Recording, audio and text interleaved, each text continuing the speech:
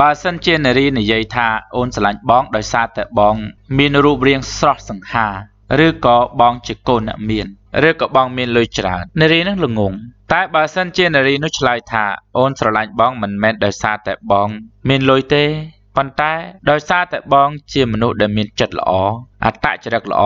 និងមានសមត្ថភាពខ្ពង់ខ្ពស់ ខ្លាំងពូកែនារីនឹងឆ្លាតព្រោះអាទាំងអស់ហ្នឹងហើយគឺជាប្រភពលុយដ៏ធំនោះណារូបសម្បត្តិដែលមានគង់តែរលាយអស់ទេ ចាស់ទៅមិនគង់វងយូរអង្វែងទេលុយដែលមានក៏គង់តែបាត់បង់ទៅវិញអស់ដែរបើគ្មានសមត្ថភាពទោះជាកូនអ្នកមានក៏មិនមែនជាទ្រព្យសម្បត្តិរបស់ខ្លួនទេ ជាទ្រព្យសម្បត្តិរបស់ម៉ែឪហើយម៉ែឪមិនមែនរស់នៅបាន200ឆ្នាំទេ គង់តែស្លាប់ទៅវិញអស់ទេប៉ុន្តែមនុស្សម្នាក់ដែលមានចិត្តល្អមានអត្តចរិតត្រឹមត្រូវហើយមានសមត្ថភាពខ្ពង់ខ្ពស់នេះនឹងមិនចេះអស់លុយទេនឹងហើយគឺជាភ្នំលុយនឹងហើយគឺជាប្រភពលុយហើយជាប្រភពលុយដែលភាពសុចរិតត្រឹមត្រូវទៀតព្រោះជាមនុស្សដែលមានចិត្តល្អនិងអត្តចរិតត្រឹមត្រូវហើយយើងថាអីគាត់មុខលុយហ្នឹងគាត់ស្រឡាញ់លុយហ្នឹងថាគាត់មិនមែនស្រឡាញ់លុយទេគាត់ស្រឡាញ់ប្រភពលុយគាត់ស្រឡាញ់ម្ចាស់លុយតាស្រឡាញ់អ្នកមានអត់ខុសទេ ស្រឡាញ់លុយគេបានខុសគាត់ស្រឡាញ់មនុស្សតាគាត់ស្រឡាញ់ប្រុសហ្នឹងតានារីល្ងងល្ងងលងស្រឡាញ់តែបរោះស្អាតសង្ហានារីដែលមានបញ្ញាស្រឡាញ់បរោះល្អ